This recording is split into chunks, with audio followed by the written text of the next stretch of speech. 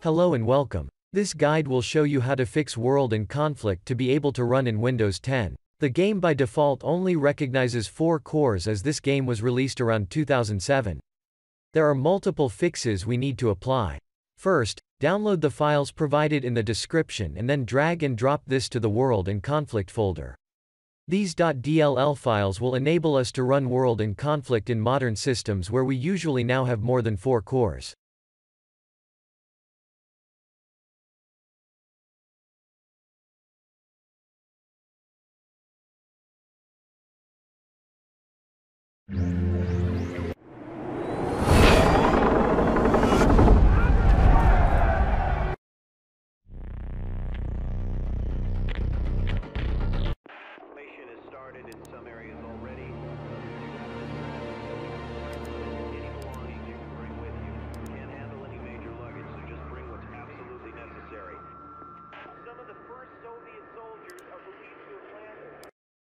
Then, we need to go to msconfig, boot tab, advanced options and set the number of cores to 4.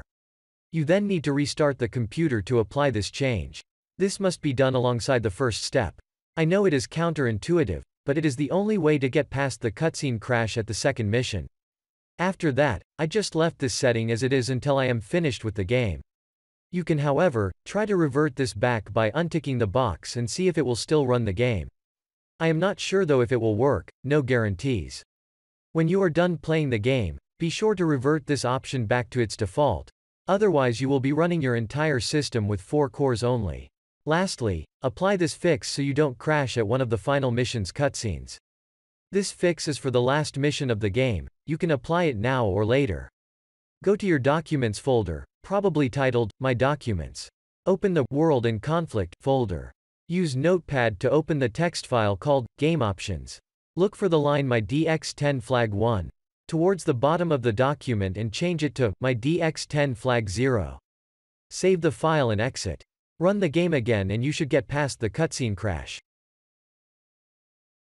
This concludes the video. If this has helped you, please consider liking and subscribing. Happy gaming!